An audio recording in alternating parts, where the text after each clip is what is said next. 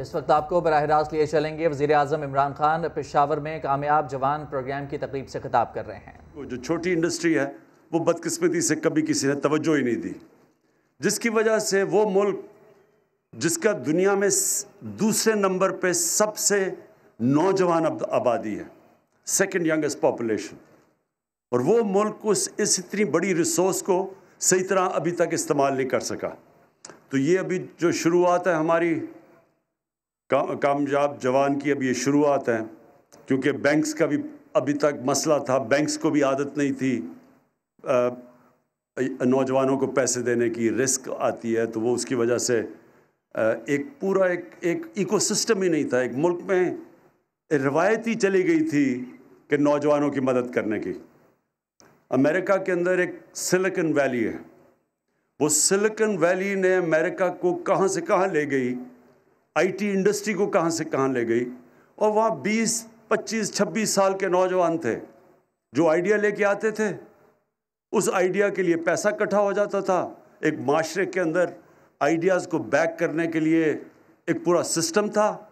और वो देखते देखते नौजवान दुनिया के सबसे अमीर तरीन आदमी भी बन गए। अमेरिका का भी वेल्थ क्रिएशन वहाँ की दौलत भी बढ़ा दी। और सारी दुनिया के अंदर कितने लाख नौजवानों को नौकरियाँ भी अब देते हैं।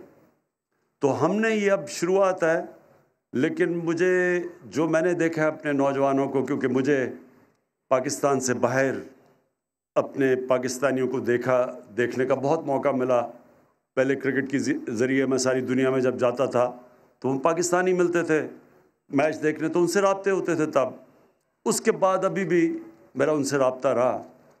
तो वहाँ आपको इतनी खुशी होगी देख के कि यंग पाकिस्तानी हैं, क्योंकि एक सिस्टम उनकी मदद करता है कि वो एक आइडिया लेके आए और सिस्टम उसको बैक करता है, वो कहाँ से कहाँ पहुँच गए। और हम अभी तक, वो अपना जो हमारे मुल्क का पोटेंशियल है, उसको पूरा नहीं कर सके। तो जो मैं देख रहा हूँ पख्तूनख्वा में, सबसे तेज़ी से थोड़े वक्त के अंदर जो मैं देख रहा हूँ कि पख्तूनख्वा में जो बिज़नेस सबसे तेज़ी से बढ़ेगी वो है टूरिज़म यहाँ इलाके जो पख्तूनख्वा में हैं वो नॉर्दर्न एरियाज़ और पख्तूनख्वा में सबसे वो वो उस तरह के आ, इलाके हैं जिधर गर्मियों के अंदर वैसे लोग आते हैं सारे पाकिस्तान में आ, आ, गर्मियों से बचने के लिए और सर्दियों में अभी शुरू नहीं हुई पाकिस्तान में लेकिन मेरी ये पेशन गोई है कि चंद सालों में ये बहुत बड़ी चीज़ बन जाएगी। वो है स्कीइंग जो स्विट्ज़रलैंड के अंदर।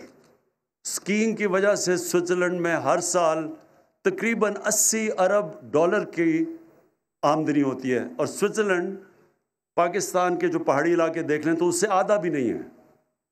तो हमारा ये बहुत बड़ी एक रिसोर्स है, जिसका इन हम ये जिस तरह अपने नौजवानों को भी बैक करेंगे। अपनी टूरिज़म टूरिज़म इंडस्ट्री बढ़ाने के लिए और वो बड़ी तेज़ी से बढ़ रही है।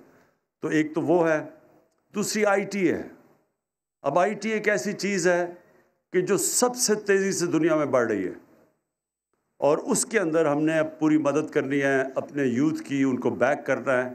वो सब आइडियाज़ की गेम होती है और जब भी जब भी एक एक इंसान में एक आइडिया आता है तो हुकूमत का काम है कि हम ऐसी सिस्टम क्रिएट करें। बैंक आए, वो बुलाए उन लोगों को, सुने उसके आइडिया को और फिर उनको बैक करें। और इसी तरह दुनिया आगे बढ़ती है।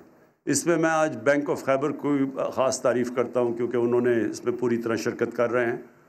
और उधर पंजाब में बैंक ऑफ़ पंजाब भी बड़ी ज़बरदस्त तरीके से इसमें भी मदद कर रहा है स्मॉल और मीडियम इंडस्ट्री की। और उसके अलावा जो हम अफोर्डेबल हाउसिंग बना रहे हैं, यानी सस्ती जो वो लोग जो तनख्वाहदार तबका तो जो घर नहीं ख़रीद सकता, उसके लिए सस्ते कर्ज़े का बंदोबस्त कर रहे हैं लो कॉस्ट हाउसिंग में तो उसमें बैंक ऑफ़ पंजाब इस वक्त बड़ा आ गया है। तो बैंक्स का बहुत बड़ा रोल है इसकी कामयाबी में, इस प्रोजेक्ट की कामयाबी में। और मैं ये उम्मीद रखता हूँ कि बाकी भी बैंक्स इसके अंदर पूरी तरह शिरकत करेंगे जैसे जैसे प्रोग्राम एक्सपैंड करता जाएगा। आ, मैं आ, बिल्कुल ठीक आपने बात की उस्मान की अगली जो अगली हम जाएँगे साउथ वज़ीरस्तान वो इलाके पीछे रह गए हैं। वहाँ बहुत बड़ा नौजवान आबादी है जिन जो बेरोज़गार है इस वक्त। तो उधर भी जाके उस उन लोगों को भी हम इन इस तरह के कर्ज़े देंगे। जब जिस तरह का भी आइडिया आया उसको बैक करने में कर्ज़े देंगे। मुझे एक खुशी हुई कि लाइफ स्टॉक के अंदर भी लोग आ रहे हैं। ये बहुत बड़ी एक फ़ील्ड है लाइफ स्टॉक हम दुनिया में यानी हमारे पास गाय बहन से लाइफ स्टॉक तो दुनिया में मेरे ख्याल में पाकिस्तान नौ या दस नंबर पे है। लेकिन जो हम, हमारी अगर गाय दो लीटर दूध देती है, मैं मिसाल दे रहा हूँ तो वो ही यूरोप के अंदर और और मुल्कों में, न्यूजीलैंड में, वो गाय छः गुना ज़्यादा दूध देती है वहाँ। और ये चाइना के अंदर तीन गुना ज़्यादा, चार गुना ज़्यादा दूध देती है। तो सिर्फ़ हमने अगर ये जब नौजवान आएँगे और इसको साइंटिफिकली लाइफ स्टॉक को चलाएँगे तो आपको अंदाज़ा सोचे जितने हमारी इस इस मुल्क में जगह है, हम लाइफ स्टॉक को कहाँ से कहाँ ले जा सकते हैं। अगर हम दो गुना भी कर लें अपनी प्रोडक्शन दूध की तो सोचें कि हम कितने ही अपनी आबादी का फ़ायदा करवा सकते हैं। इसलिए मुझे खुशी हुई कि कम से कम दो लोगों को मैंने देखा जिन्होंने लाइफ स्टॉक की फ़ील्ड के अंदर उन्होंने कर्ज़े लिए हैं। तो मैं उनको भी मुबारक देता हूँ। और इन अगला हम साउथ वज़ीरस्तान में जाके अगला प्रोग्राम करेंगे। शुक्रिया। वजी अजम इमरान खान पेशावर में कामयाब नौजवान प्रोग्राम की तकरीब से खिताब कर रहे थे। उनका कहना था कि कामयाब जवान प्रोग्राम से रोज़गार में इजाफा हुआ है। कामयाब जवान प्रोग्राम पर उस्मान डार को मुबारकबाद पेश करता हूँ। इमरान खान ने कहा कि नौजवानों के पास टैलेंट मौजूद है, लेकिन पैसे नहीं हैं। पैसे ना होने से टैलेंट कमज़ोर पड़ जाता है। बदकिस्मती से किसी ने छोटी इंडस्ट्रीज़ पर कोई तवज्जो नहीं दी। वज़ी अजम ने कहा कि सियाहत के फ़रोग के लिए भी नौजवानों को आगे आना होगा। हमारे मुल्क की ताकत नौजवान हैं। उन्होंने कहा कि नौजवानों को पैसे देने को बैंक्स रिस्क समझते हैं। बैंक्स को नौजवानों को पैसे देने की आदत नहीं थी। उन्होंने कहा कि आईटी दुनिया में कामयाबी एक शोबा है, कामयाब शोबा है और इस शोबे में पाकिस्तान के जवानों के पास बहुत टैलेंट मौजूद है। बुलेटिन में दीगर खबरों की जाने बढ़ते हैं। Chairman peoples party Bilawal Bhutto कहते हैं इमरान खान को 31 जनवरी तक मुस्ताफी होना पड़ेगा वरना दमादम मस्त कलंदर होगा। इस्लामाबाद में मीडिया से गुफ्तगु में उनका कहना था कि अब बातचीत का वक्त गुजर गया बहरान का वाहिद हल इमरान खान का इस्तीफा है। ज़रूरत पड़ी तो सिंध हुकूमत कुर्बान करने को तैयार हैं। पे ए पी एस के जो एनिवर्सरी की दिन है जो बरसी की दिन है उस दिन पे हम वज़ी अजम का इस्तीफ़ा इसलिए भी मांगते हैं कि इस नालायक, ना अहल और नाजायज़ वज़ी अजम के दौर में हमारे ए पी एस के बच्चे को कातिल, को आज़ादी मिले हैं, वो वो घोड़े बने हैं और ये हुकूमत कोई कोशिश नहीं कर रही। कोई कोशिश नहीं कर रहे कि हमारे ए पी एस के बच्चों के कातिल को जेल में डाला जाए। हुकूमत जानते हैं कि उनको सेनेट में अक्सरियत नहीं मिलने वाला। और वो हर वो हटकंडा इस्तेमाल करना चाहते हैं, जिससे वो सेनेट में धांधली करके ज़बरदस्ती अपना अक्सरियत करवा दें। हुकूमत का कोशिश है कि अदालत को गैर जमहूरी कदम में घसीटा जाए। ये नाकाम रहेगा। जहाँ हम कहते हैं कि अब बात करने के वक्त गुजर चुका है। वो हम इसलिए कह रहे हैं कि हम अब इसका इस्तीफ़ा ले रहे हैं। हम अपने तहरीक चला रहे हैं और ये जो वक्त है, इस वक्त में हम किसी से बातचीत नहीं कर सकता है कर सकते हैं। हम उनको वार्निंग दे रहे हैं, हम उनको मौका दे रहे हैं कि वो जो क्राइसिस आप सबको नज़र आ रहा है, जो बहरान आप सबको नज़र आ रहा है, इसका एक हल वाद हल ये है कि खुद ब खुद जनवरी थर्टी फ़र्स्ट तक ये सब मुस्ताफ़ी हो जाए वरना दमदा मस्कल अंदर होगा और उससे अपोजिशन को ही फ़ायदा होगा हुकूमत को नुकसान ही नुकसान होगा। थर्टी फ़र्स्ट जनवरी तक इमरान खान साहब को मुस्ताफ़ी होना पड़ेगा। वज़ीर दाखिला शेख रशीद कहते हैं कि पी डी एम के इस्तीफ़े एटम बम नहीं बल्कि फुलझड़ियाँ हैं। अपोजिशन इस्लामाबाद आना चाहती है तो शौक से आए। उन्होंने मजीद कहा हमने भी इस्लामाबाद में पड़ाव डाला था कुछ नहीं हुआ। ये इंतहाई कदम उठाना चाहते हैं ताकि जमहूरियत बंद गली में बंद हो जाए। मुझे यकीन है कि कल जो शहबाज शरीफ से मुलाकात हुई है बिलावल भुट्टो की गो उन्होंने एटम बम चलाने की धमकी दे दी है इस्तीफ़ों का। और मुझे यकीन है कि वो फुलझड़ी होगी। सियासी एटम बम नहीं होगा रेजिग्नेशन में, क्योंकि पीपल्स पार्टी जमहूरी प्रोसेस पे यकीन रखती है। मैं बिलावल पीपल्स पार्टी को इस सियासत में बेहतर पोजीशन में देख रहा हूँ। और शहबाज शरीफ भी मुजाकरात का हामी है और मशावरत का हामी है। जब जिस शहबाज शरीफ को मैं जानता हूँ, आज के शहबाज शरीफ को मेरा नहीं पता। हालात में बेहतरी की तरफ़ देख रहा हूँ। अगर वो इस्तीफ़ा देना चाहते हैं, कल इमरान खान ने मुझे कहा है, तुम मीडिया पे जा रहे हो, उन्हें को बड़े शौक से दो। शायद की तारीख में ऐसा कामयाब जलसा नहीं आप सबको खराज तहसीम पेश करना चाहते हूँ। नून लीग के पार्लिमानी और तंजीमी इजलास की कहानी सामने आ गई। मरियम नवाज़ लाहौर की क्यादत पर बरहम हो गई। असल कहानी है वो सिर्फ़ समा बताएगा कि मरियम नवाज़ और हाजा साद रफीक बड़े बरहम हैं। जिनके जिम्मे ड्यूटियाँ लगी थी और उन्होंने वो नहीं निभाई। अब उनको सजा मिलेगी पार्टी में जजा और सजा का निज़ाम। मैं खुद लेकर आऊँगी। नहीं, नहीं, नहीं, नहीं। आपकी जो खबर है वो झूठी है। और मरियम बीवी ने सबकी बहुत तारीफ़ की है। ये मरियम नवाज़ साहब ने कोई जजा सजा की बात नहीं मुस्लिम लीग नून के सीनियर रहनुमा जावेद लतीफ ने समा की खबर की तस्दीक कर दी है। मरियम नवाज़ शरीफ साहबा ने कहा पार्टी के अंदर भी एक एहतसाब का अमल होना चाहिए। जिस बात का सिरे से वजूद ही नहीं। आपने वो झूठी बात चंद चैनल्स ने चलाई। चैनल्स का नाम अभी नहीं ले रही मैं उनको वक्त दे रही कि वो इस किस्म के प्रोपेगेंडा से बाज आ जाएँ। समा टीवी इनको कहता है कि ये भी आइंदा एहतियात करें और बाज आ जाएँ इस तरह धमकियाँ ना लगाएँ और सच को ना छुपाने की कोशिश करें। लेकिन मुस्लिम लीग नून के रहनुमा राना सनाउल्ला का कहना है कि नवाज़ शरीफ के बयानिए के साथ खड़े हैं। जावेद लतीफ़ पर इल्ज़ाम लगाया कि विकेट के दोनों तरफ़ ना खेल कोई सकता है और ना ही कोई खेलेगा। ऐसी बातें भाम पैदा करने के लिए की जाती हैं। विकेट के जो है वो दोनों तरफ़ ना खेल सकता है, ना कोई खेलेगा। इस किस्म की बातें जो हैं वो सिर्फ़ अबहाम फैलाने के लिए जो है वो की जाती हैं। पाकिस्तान मुस्लिम लीग नून की सिमत का तयन जो है वो बिल्कुल हो चुका है। अब आपको बताएँ कि पाकिस्तान के दो रोज़ा दौरे पर आए हुए तालिबान सियासी कमीशन के वक्त की मुला अब्दुल गनी बरदर की क़्यादत में वजारत खारजा आमद हुई है। अफगान तालिबान सियासी कमीशन के वक्त की शाह महमूद कुरैशी से मुलाकात हुई। वज़ीर खारजा कहते हैं कि वक्त के साथ होने वाली गुजशत दो नशस्तें इंतहाई सूदमंद रही हैं। मजीद बात करेंगे, ब्यूरो चीफ इस्लामाबाद खालिद अजीम साहब हमारे साथ मौजूद हैं। खालिद साहब, ये बता दीजिएगा कि इस मुलाकात में किन अहम अमूर पर गुफ्तु की गई और आइंदा दो रोज़ तक क्या स्केजूल रहेगा इस वक्त का? देखें जी, ये अफ़गानिस्तान में अमन अमल के लिए जो कोशिशें हो रही हैं, ये आज की मुलाकात उसी का तसलसल है और चूँकि पाकिस्तान ने ही इस चीज़ को मुमकिन बनाया था और जो तातुल था, उसको दूर करने में पाकिस्तान ने अहम किरदार अदा किया था।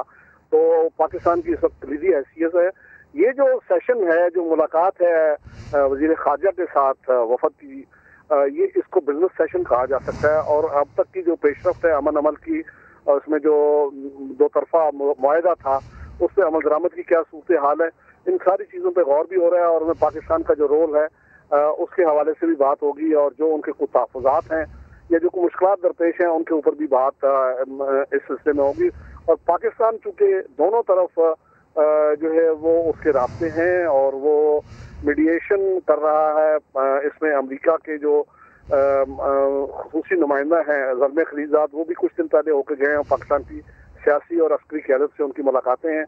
ये आज वफद की आमद जो है उसी का तसलसल है। इससे पहले भी दो मरतबा वफद आ चुका है और इसके अलावा पाकिस्तान जो है तमाम स्टेक होल्डर के साथ रबते में है।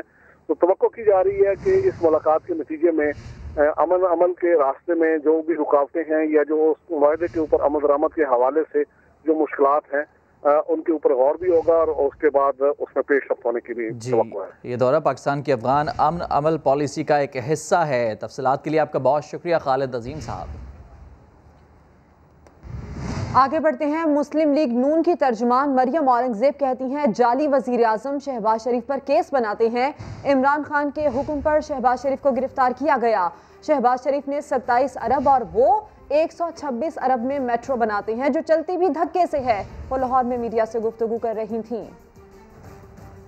आपके झूठों ने कहा कि जलसा छोटा था। तो कराए के तर्जुमान और वज़ीर आज़म हलकान क्यों हो गए हैं जलसे के बारे में बातें और ट्वीट कर करके? ना आटे की परवाह, ना चीनी की परवाह, ना रोज़गार की परवाह, ना मीशत की परवाह, ना एल एन जी की परवाह, ना दवाइयों की परवाह, सिर्फ़ P D M, P D M, P D M. P D M की तहरीक अवाम के जेबों पर इस डाके के खिलाफ है। पी डी एम की तहरीक महँगाई के खिलाफ है, बेरोजगारी के खिलाफ है, करप्शन के खिलाफ है, जो इस वक्त मुसलत टोला अवाम पे कर रहा है। नैब चेयरमैन कहते थे, हम फेस नहीं, हम केस देखते हैं। तो आज 122 अरब के फेसेस नज़र नहीं आ रहे करप्शन के आपको। 250 अरब का डाका आटे में डल गया 122 अरब एलएनजी में हो गया, साढ़े पाँच अरब चीनी की मद में पाकिस्तान का चोरी हो गया। लेकिन आपको नदीम बाबर, जहांगीर तरीन खुसरो बख्तियार, इमरान साहब का फेस नज़र नहीं आता।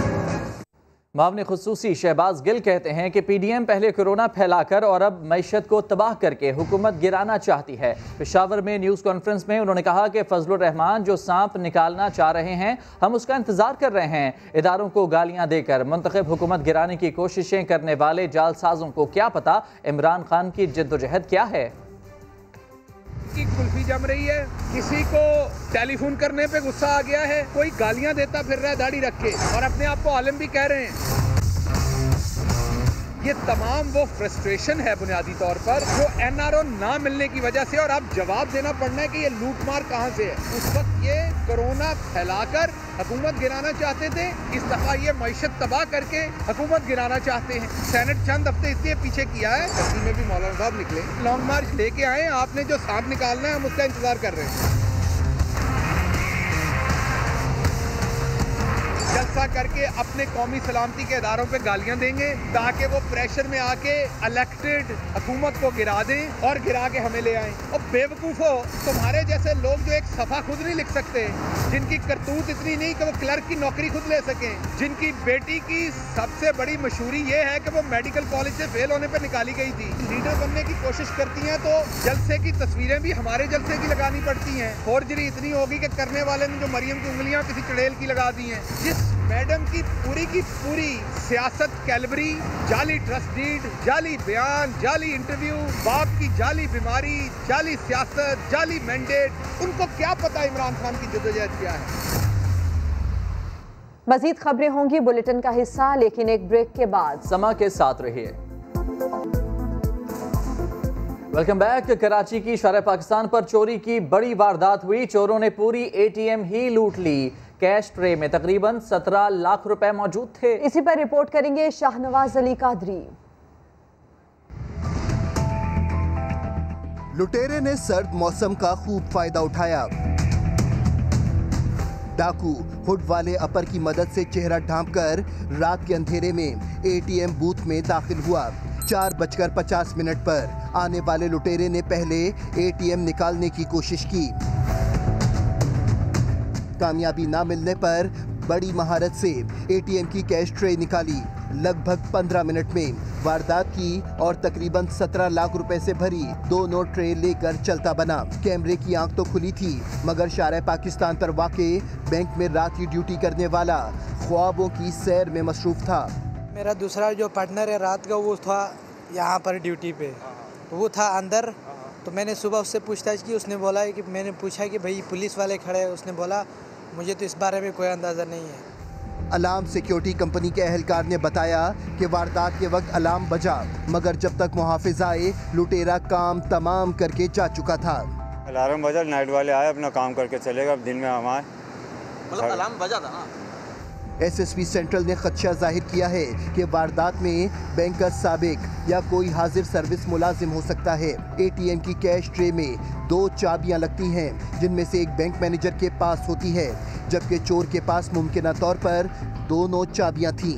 कैमरामैन इम्तियाज़ अली के साथ शाहनवाज कादरी, समा कराची।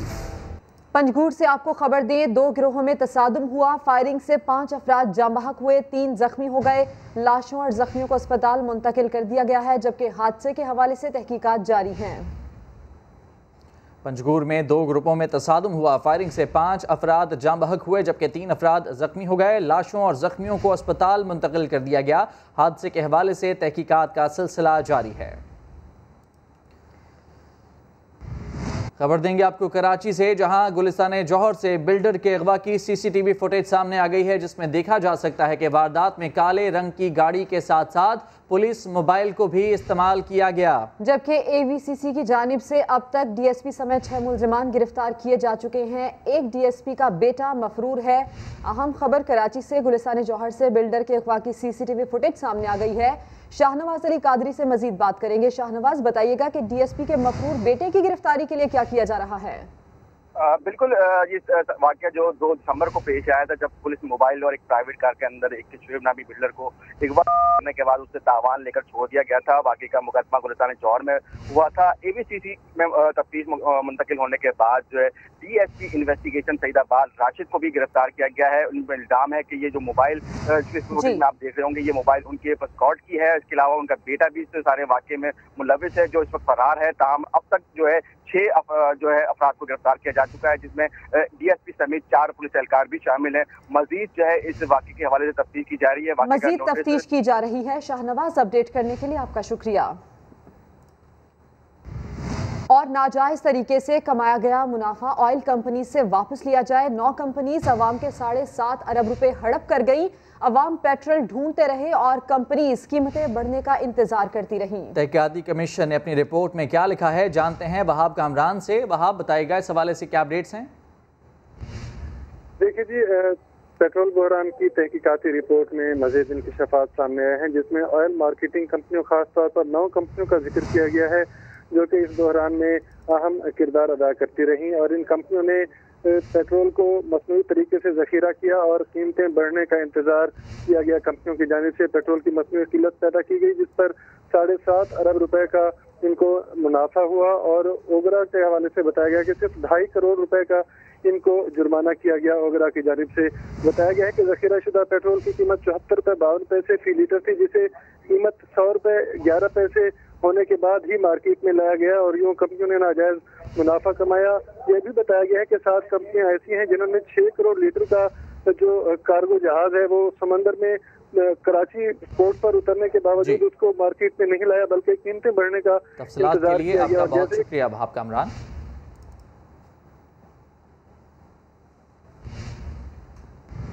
आगे बढ़ते हैं काम खबर आपको दें। लाहौर हाई कोर्ट ने पंजाब हुकूमत को आइंदा निसाब में कुरान मजीद की तालीम अलग से मजमून के तौर पर शामिल करने की हिदायत कर दी है। बात करेंगे शाहिद हुसैन से। शाहिद ये बताइएगा कि नाफिजुल अमल कब से होगा? जी अभी ये मामला जो है वो काबीना में भेजा गया है। हतमी फैसला काबीना में ही किया जाना है लेकिन आज जो अदालत में केस की समात हुई है उसमें अदालत ने सेक्रेटरी तालीम को कल जाती तौर पर पेश होने का हुक्म दे दिया है। सरकारी वकील ने अदालत को बताया कि कुरान पाक की जो तालीम है वो इस्लामियात में शामिल है। ताहम अदालत का ये कहना था कि इसको एक अलग मजमून के तौर पर शामिल किया जाना चाहिए और साथ ही साथ जो है कुरान मजीद को एज ए मजमून जो है उसको निसाब में शामिल करने की मंजूरी देती है। ये वकील पंजाब टेक्स बोर्ड ने अदालत पर अदालत को बताया है। अब अदालत में जो केस की समात है वो कल होगी। खबर की तफसील के लिए आपका शुक्रिया शाहिद हुसैन। और अब कोयटा से खबर आपको देंगे, जहाँ मनफी दर्जा हरारत होने के बावजूद वहाँ के शहरी गैस की सहूलत से महरूम हैं। मुतासरीन ने मगरबी बाईपास पर एहतजाज भी किया। तफसीत मुजीबुल्ला की रिपोर्ट में देखिए। कोयटा की खून जमा देने वाली सर्दी पारा मनफी ग्यारह डिग्री सेंटीग्रेड तक गिर गया, जिससे सड़कों पर कड़ा पानी बर्फ़ में तब्दील हो गया। इस तमाम सूरत हाल के बावजूद अहलियान कोयटा गैस की सहूलत से महरूम है। बरूरी रोड, हजारा टाउन किली क्याजई और किली मोहम्मद असनी के मकीन गैस लोड शेडिंग से तंग आकर सड़कों पर निकल आए, टायर जलाए और मगरबी बाईपास शाहरा ट्रैफ़िक के लिए बंद कर दी।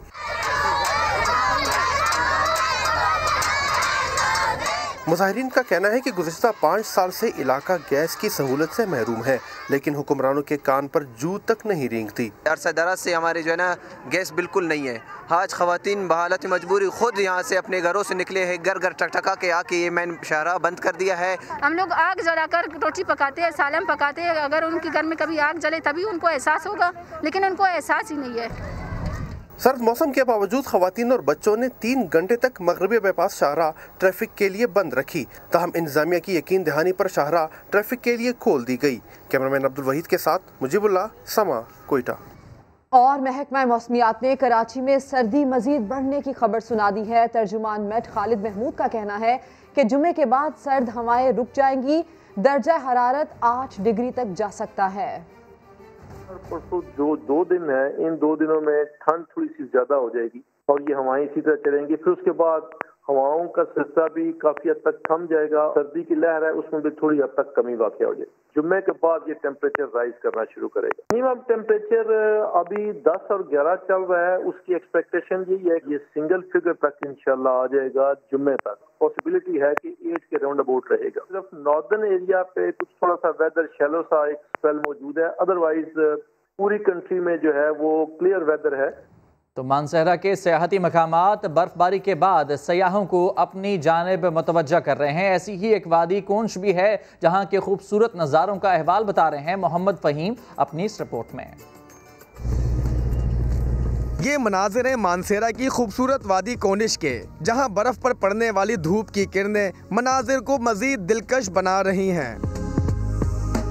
सख्त सर्दी में यहाँ आने वाले सयाह एक दूसरे पर बर्फ़ के गोले फेंक कर खूब महसूस हुए। बर्फबारी ने सयाहती मुकाम छेतर प्लेन टॉप के हुसन को भी चार चाँद लगा दिए। हम यहाँ छतर प्लेन के टॉप पे आए हैं तो साथ में दोस्त हैं बस एंजॉय कर रहे हैं। यहाँ पे चारों तरफ़ पे बर्फ़ पड़ी हुई है। टूरिस्ट भी आ रहे हैं और बहुत एंजॉय हो रहे हैं। हम लोग भी आए बहुत मज़ा आ रहा है इस वक्त बर्फ़ में और धूप भी लगी हुई है। छतर टॉप काफ़ी हाइट पे हम यहाँ पे हैं कैसे खूबसूरत नज़ारे हैं। तो यहाँ पे टूरिस्ट आ रहे हैं हमें और भी टूरिस्ट आने चाहिए। सयाहों की मौज मस्ती को देखकर ये कहना गलत ना होगा कि शुमाली इलाका जात के दिलकश मौसम को एंजॉय करने के लिए ये मुकाम और वक्त बिल्कुल मुनासिब है। मोहम्मद फ़हीम समा मानसर दीगर खबरें होंगी बुलेटिन का हिस्सा लेकिन एक ब्रेक के बाद। आप रहिए समा के साथ। और तब्दीली सरकार में इस्लामाबाद, तब्दीली का मुंतजर, इस्लामाबाद के किसी सरकारी अस्पताल में मुस्तकिल सरबरा मौजूद ही नहीं। पिम्स पोलिक्लिनिक और इसके अलावा दीगर अस्पताल में दो से आर्जी सरबराहान तैनात हैं। तहरीक इंसाफ की हुकूमत में महकमा सेहत के साथ ये नाइंसाफ़ी क्यों है? मामले खसूसी सेहत फैसल सुल्तान ने सारा मलबा फरसुदा निज़ाम पर डाल दिया। मजीद बात करते हैं समा की नुमाइंदा अरहम खान हमारे साथ मौजूद हैं। अरहम, बताइएगा कौन कौन से इदारे हैं जो मुस्तबिल में जो है मुस्तकिल सरबरा के मंतज़र हैं? जी बिल्कुल, ऐसा ही है। इस्लामाबाद के जो तीन बड़े सरकारी अस्पताल हैं, जिसमें पिम्स है पोली क्लिनिक है, निर्म है, वहाँ पर भी मुस्तकिल सरबराहान नहीं है। इसके अलावा कौमी इदारा सेहत है आपका ड्रग रेगुलेटरी अथॉरिटी है डीएचओ इस्लामाबाद है वो भी गैर मुस्तकिल हैं। और ये चुराग कदे अंधेरे वाली बात हो जाती है कि शहर इकतदार जहाँ पे तमाम वजारतें हैं जहाँ पे पार्लिमान है और वहीं के जो इदारे हैं हस्पताल हैं उधर ही मुस्तकिल सरबराहान नहीं है। जब समय ये सवाल लेकर अपने खसूसी सेहत डॉक्टर फैसल सुल्तान के पास पहुँचा तो उन्होंने सारा मलबा फरसूदा निज़ाम पर डाल दिया।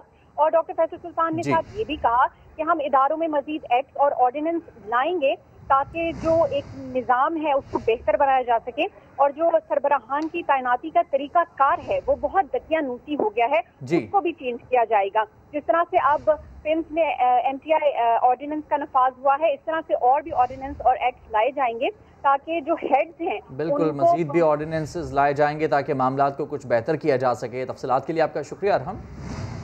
से इतना ही एक ब्रेक के बाद होंगी हेडलाइंस देखते रहिए समा।